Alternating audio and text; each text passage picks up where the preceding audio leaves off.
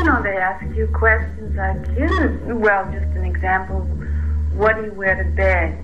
Uh, you wear a pajama top, the bottoms of the pajamas, or the uh, nightgown, or what kind of? So I said Chanel number five, because it's it's the truth. and yet I don't want to say nude, you know, but it's, it's the truth.